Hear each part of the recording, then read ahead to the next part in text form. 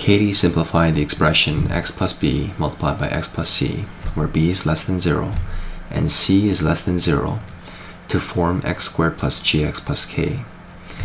What must be true about g and k? And we see the choices here are basically g or k is less than or greater than 0. Now at first this, this question might seem a bit tricky, but when we think about it, we're simply uh, expanding this using FOIL to result in this. So we know that b is less than 0, this is less than 0, and c is less than 0. So overall, uh, this is going to be the result of a negative number, and the c is going to be a negative number. We know that when using FOIL, the uh, the last part, the L, the last negative number times a negative number, we know that's going to result in the actual k. So when we have a negative number times a negative number, it's, k is guaranteed to be positive. So we know that k must be greater than 0. So choice A is a possibility. Choice uh, C is a possibility. And choice B and D are eliminated. Now what about the uh, g value? What do we know about the g value? When we expand out uh, foiling these things here, uh, we have the G is a result of the uh, FOIL, o, the letter O and I, the outside. So here we're going to have the uh, some negative number times x.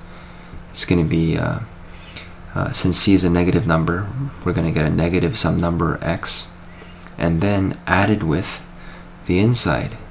But b also is negative, so the negative some number added with negative another number, which happens to be multiplied by x, is going to make it even more negative.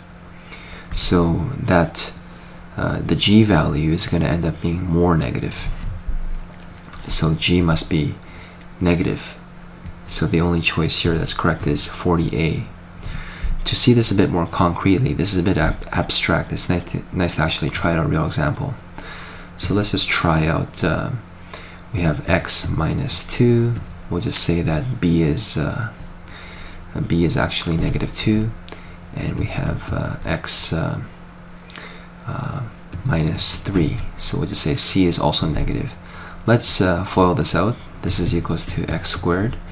We have uh, negative 3x negative 2x we're adding these. This becomes negative 5x and then our k value this here is our g value our k value is going to be the last. Negative 2 times negative 3 is going to be positive 6.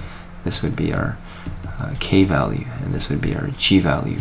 We can see that for this example where b and c is less than 0, that indeed g is less than 0, is negative 5 in this concrete example, and the k value is greater than 0.